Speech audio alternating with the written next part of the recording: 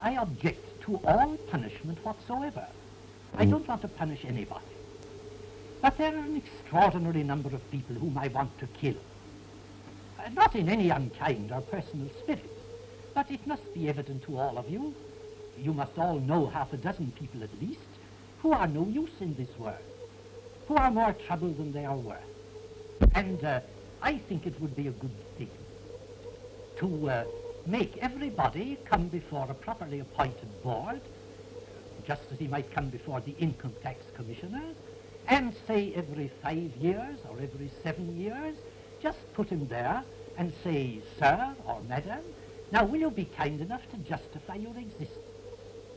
If you can't justify your existence, if you're not pulling your weight in the social boat, if you're not producing as much as you consume, or perhaps a little more, then clearly, uh, we cannot use the big organization of our society uh, for the purpose of keeping you alive, because your life does not benefit us, and it can't be of very much use to you.